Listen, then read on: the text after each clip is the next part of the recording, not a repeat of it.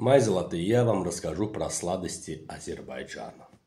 Ну, во-первых, когда сладости есть, должен быть лянтяранский чай. Дальше. Это ириванская гата. Армяне говорят. На самом деле Ириван кетеси. Ириванская кете. Гат гата значит слой на слой.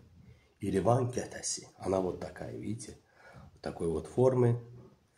Вот такая бывает вкусняшка.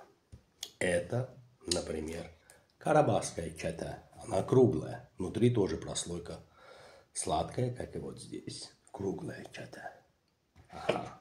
Это у нас шекербура. Красота, вкусняшка, харч-харч, внутри сладко.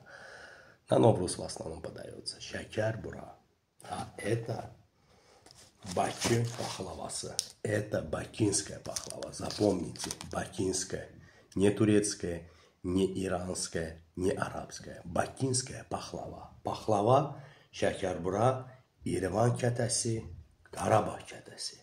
Вот это вот сладости Азербайджана. Запомните, а лучше запишите и не спорьте. Это все наше. Чигарес.